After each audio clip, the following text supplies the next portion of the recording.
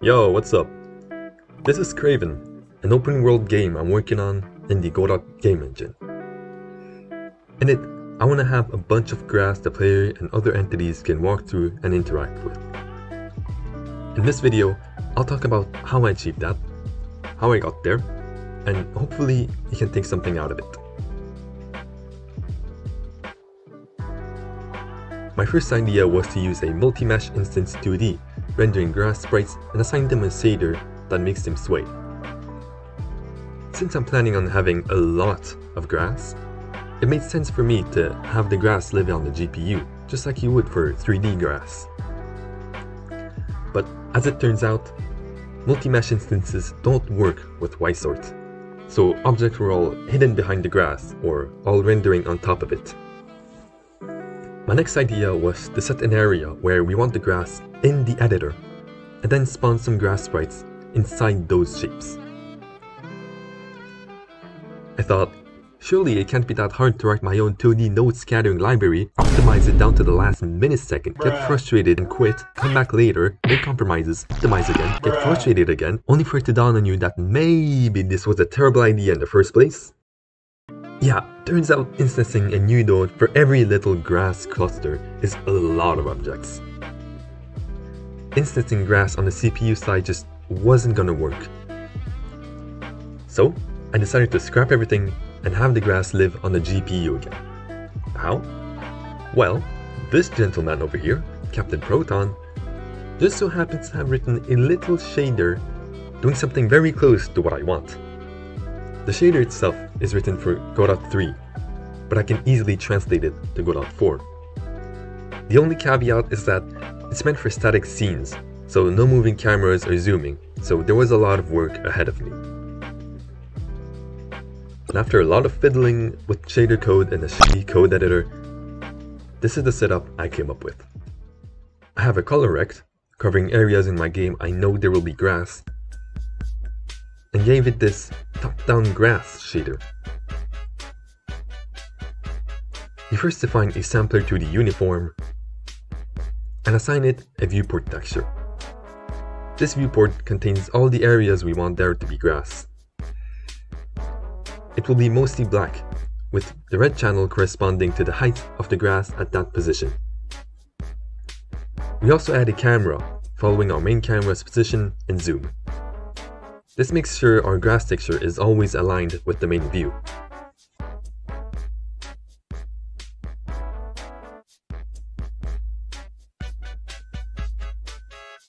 The main bulk of the shader happens in this for loop. For each pixel, we iterate over the pixels underneath it one by one, and sample the blade length there. If the blade length is equal to the distance traveled, that means this pixel is a grass blade tip, so we want to color the pixel, and break out of the loop. Otherwise, it means we're somewhere along the blade, so we set our color to the stem color. And of course, if there's no grass there, skip it.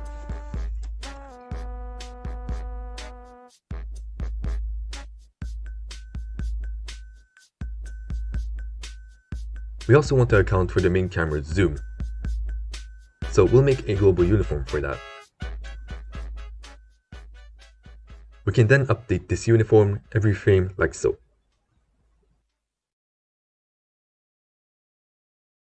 And that's the basic idea.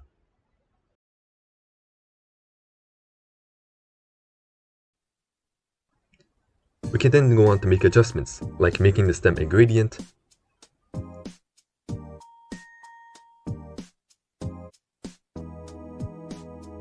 we can make the grass sway. World pos is the global position of the crate fragment.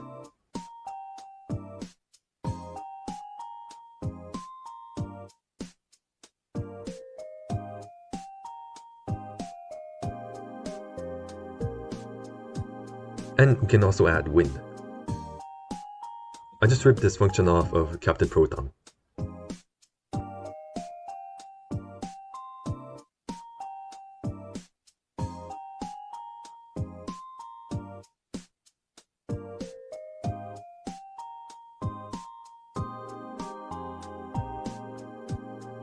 You may notice here that we're getting artifacts at the bottom of the screen. This happens because it's trying to read values that are off screen, but the grass texture is only as big as, well, the screen. So let's make it bigger by zooming our grass texture camera out and then zooming it back in while sampling the shader. The difference now is that the shader has data it can sample outside of the screen. Let's zoom it out by, let's say, half. You could set this to any amount as long as it's big enough.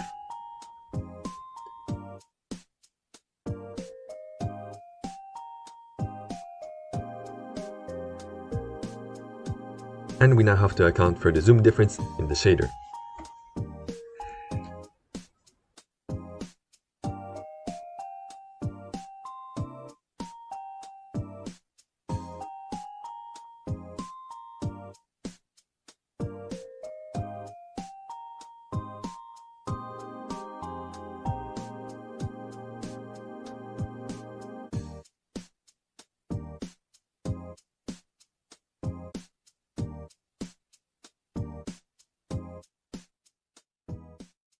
Now, we need to make it so objects can be covered by grass.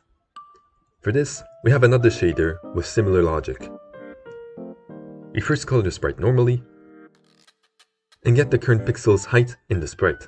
If you're using a sprite sheet, use this line instead and set how many rows your sprite sheet has as a uniform. Then, we loop each pixel below the sprite and sample the blade length there. If the blade is longer than this total traveled height, the pixel is below the blade tip, so we hide it.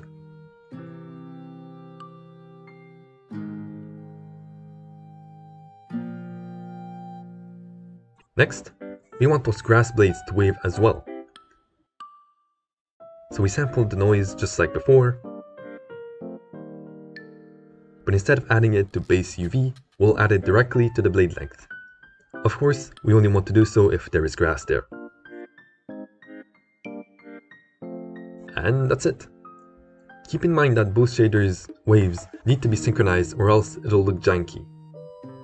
So I just made the wave related variables global and I have a grass manager script that handles setting those per scene if I ever need to. From here, it's not too hard to make an editor tool that makes adding grass easier. In my case, I just have the grass manager handle that. And that's it for this video. If you want to see more stuff that's a mix between haha funny programming jokes and deep yet incoherent thoughts at 5am, uh, subscribe!